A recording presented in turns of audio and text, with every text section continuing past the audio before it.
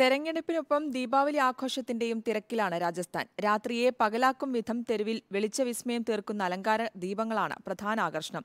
തെരഞ്ഞെടുപ്പ് പ്രചാരണത്തിന് അവധി നൽകി നേതാക്കളും സ്ഥാനാർത്ഥികളും ദീപാവലി ആഘോഷത്തിലാണ്.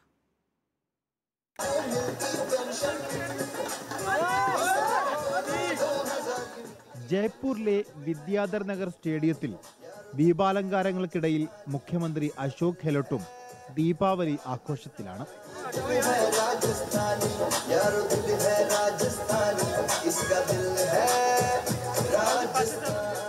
ഒരു ഭാഗത്ത് തെരഞ്ഞെടുപ്പ് പ്രചാരണം അന്തിമഘട്ടത്തിൽ മറുഭാഗത്ത് ദീപാവലി. ആഘോഷങ്ങൾക്ക് അവധിയില്ലാത്തതിനാൽ ജയ്പൂരിൽ തെരഞ്ഞെടുപ്പും ദീപാവലിയും തെരുവിൽ തിരക്ക് കൂട്ടി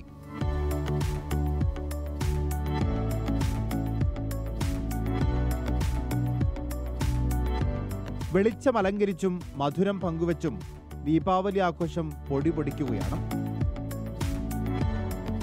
തെരഞ്ഞെടുപ്പിന്റെ ആഘോഷങ്ങൾക്ക് നടുവിൽ ദീപാവലി ആഘോഷം കൂടി വന്നപ്പോൾ രാജസ്ഥാനിൽ കോൺഗ്രസും ബി ജെ പിയും ഒക്കെ ഒരുമിച്ച് ആഘോഷിക്കുകയാണ്. പക്ഷേ ഡിസംബർ മൂന്നിന് പെട്ടി പൊട്ടിക്കുമ്പോൾ ആഘോഷം ആർക്കാവും എന്നാണ് ആകാംക്ഷയോടെ രാജസ്ഥാൻ കാത്തിരിക്കുന്നത്.